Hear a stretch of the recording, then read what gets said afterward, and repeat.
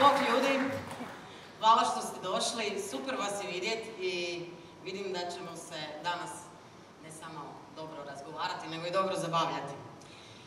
trebamo se dobro zabavljati jer nam je kroz dva do tri tjedna peti rođendan.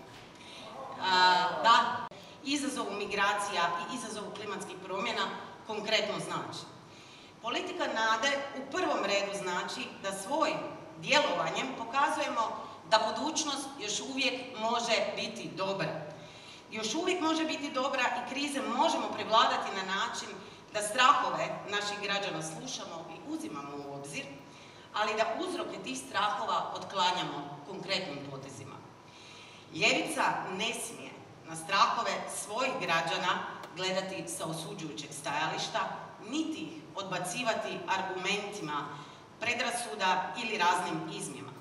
Ljevica je tu da ih čuje, da razumije uzroke, da uključuje sve, a ne samo neke ili one koji misle kao mi. Ljevica je ovdje da vlada empatijom i razumijevanjem.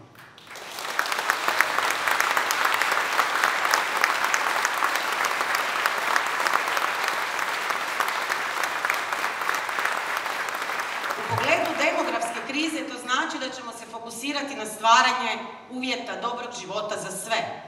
Od osiguranja univerzalne dostupnosti vrtića u cijeloj zemlji kao što ćemo to postići u Zagrebu do kraja sljedeće godine, do stvaranja pravičnog i uključivog obrazovnog sustava ulaganjem u obrazovanje, ali i u uvjete rada obrazovnih radnika, jer želimo da obrazovni radnici i obrazovanje postane mjesto poželjno za rad.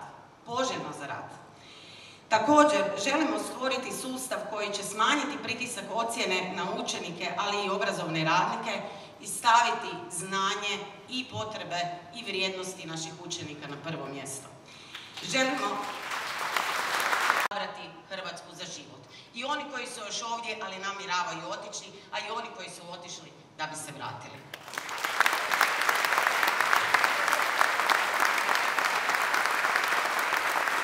osigurali da gospodarstvo i ukupna ekonomija proizvodi poželjne društvene učinke, visoku kvalitetu rada, visoku kvalitetu radnih mjesta, dobre plaće i da, sva, da omogućimo apsolutno svakom ko živi od svog rada da od tog rada može dostojanstveno živjeti.